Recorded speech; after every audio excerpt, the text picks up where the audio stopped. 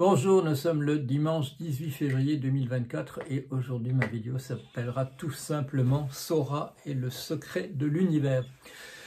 Parce qu'il est possible effectivement que le secret de l'univers ait été euh, découvert euh, il y a sans doute quelques temps, mais nous l'avons appris officiellement le 15 février 2024. Bien entendu, je plaisante, mais pas tout à fait. Et euh, de quoi s'agit-il avec Sora? Sora, c'est euh, le mot japonais pour le ciel, et euh, c'est le nom d'un logiciel qui a effectivement été lancé, qui a été publié le 15, c'est-à-dire il y a exactement trois jours, par la firme OpenAI, que vous connaissez sans doute déjà de nom, puisque c'est elle qui a lancé le produit ChatGPT, dont la version 4 est actuellement la version que l'on utilise, GPT-4. Alors, je vous rappelle ce que fait d'abord GPT-4. Euh, vous lui posez des questions, vous lui dites quelque chose, et en échange, il vous ramène euh, des informations à ce sujet-là. Bon, c'est extrêmement élaboré en général, ça, ça explore euh, tout, ce qu'on sait, euh, nous les êtres humains, sur le sujet.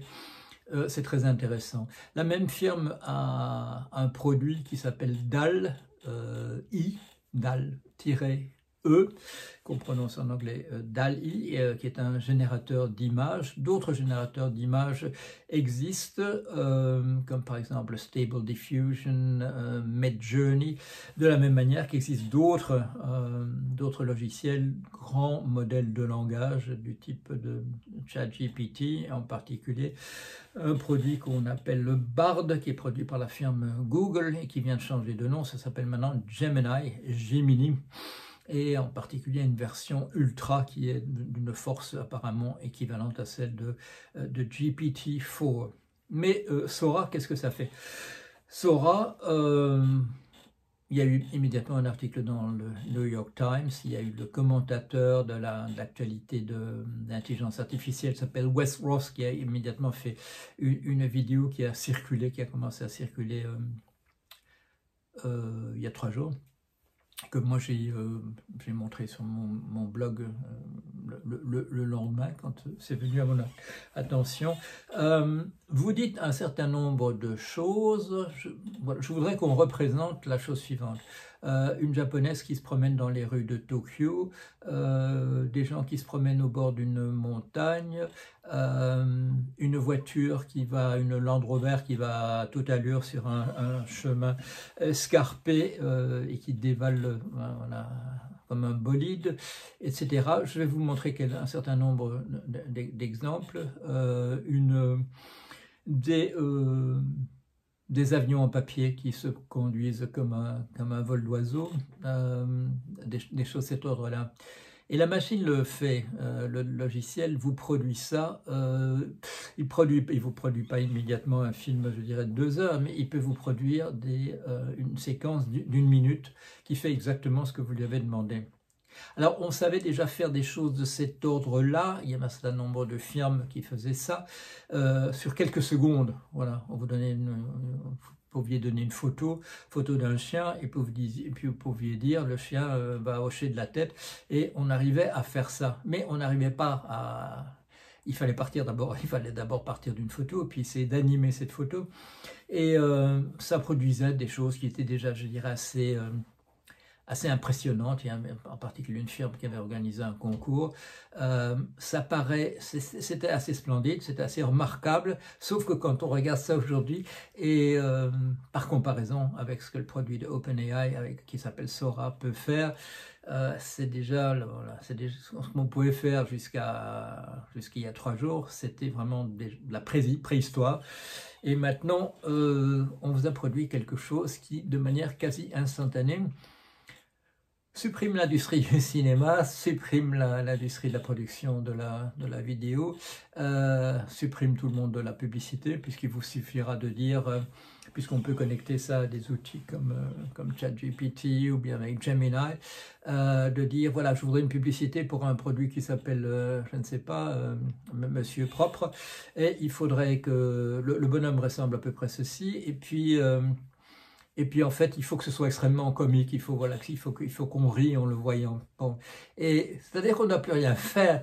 Euh, dire, voilà, raconter une histoire avec un, bonhomme qui s'appelle Monsieur Propre et euh, et raconter une histoire très comique à son sujet. Ça, ChatGPT le fait déjà, il le fait déjà depuis l'année dernière, donc euh, en particulier depuis le, mois de mars, on arrive au premier anniversaire. Euh, mais maintenant, on peut faire des images. On fait des images, on fait des images qui, font ça. Je, vous montrerai un certain nombre euh, de choses, comme une, énorme vague dans une, dans une cathédrale.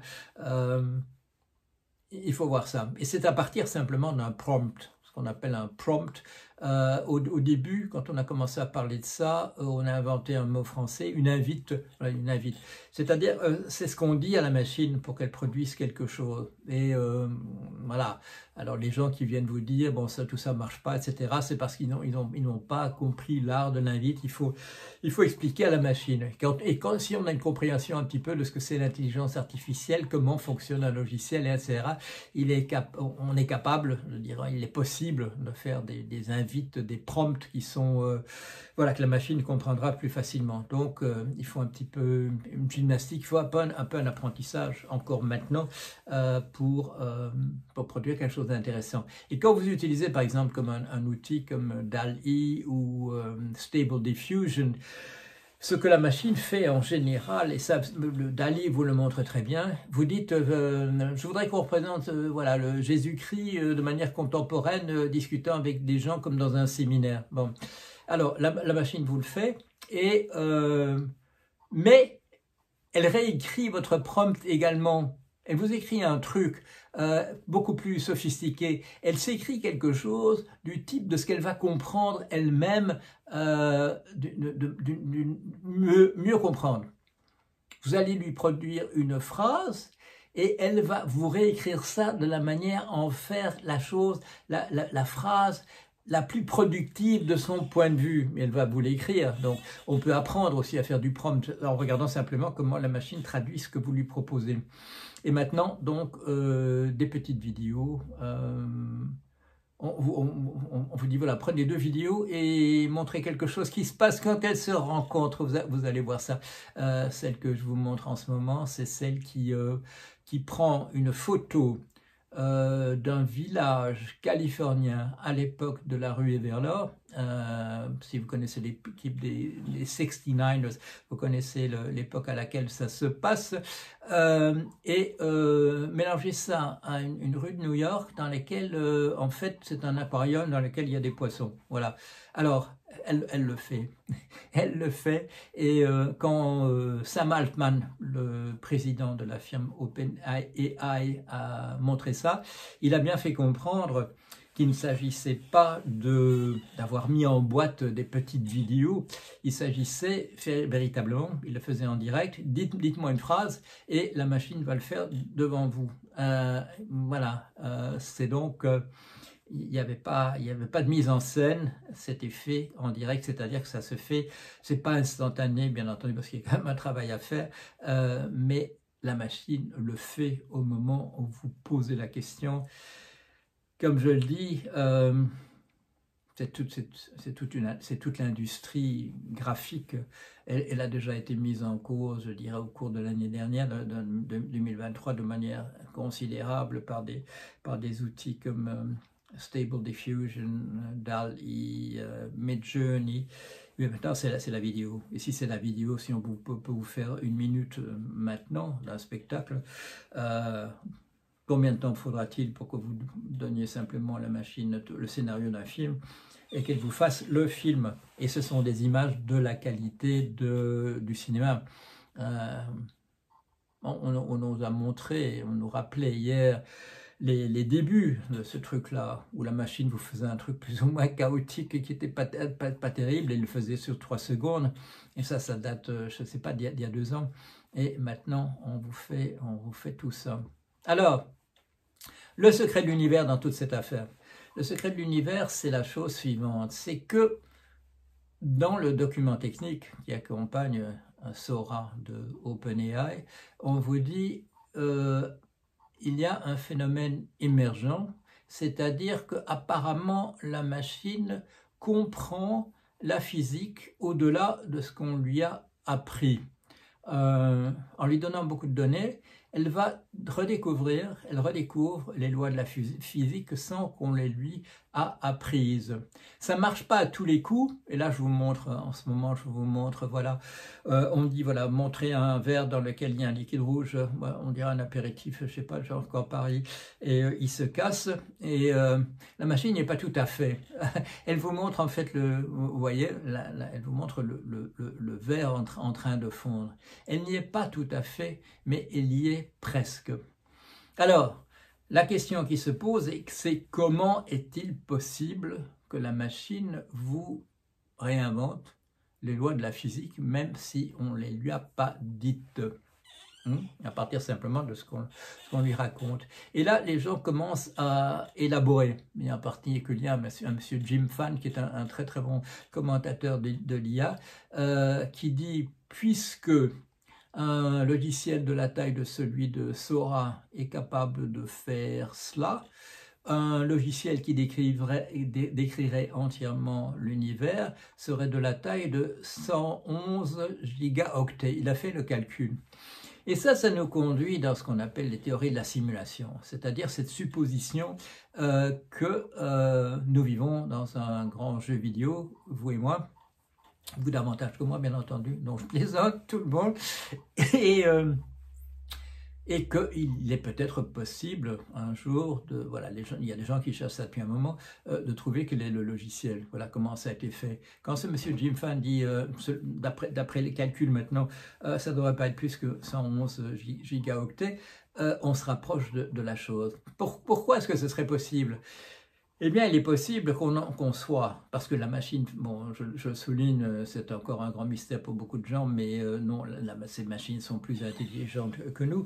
Mais et euh, si on augmente encore leur taille, c'est ce qu'on a vu. Il y a eu un moment où l'augmentation en taille de leur logiciel, en termes d'informations dont elles disposent, du nombre de, cellules à l'intérieur de leur, de leur réseau neuronal, fait que leur intelligence dépasse la, la nôtre. Et donc, donc, il est possible de faire des calculs euh, sur ce qu'on pourrait, quelle serait la, taille du, logiciel qui décrirait absolument tout. Mais ça voudrait dire que ce logiciel, le logiciel que nous avons maintenant, serait déjà en route sur le bon chemin vers ce logiciel qui décrirait absolument tout.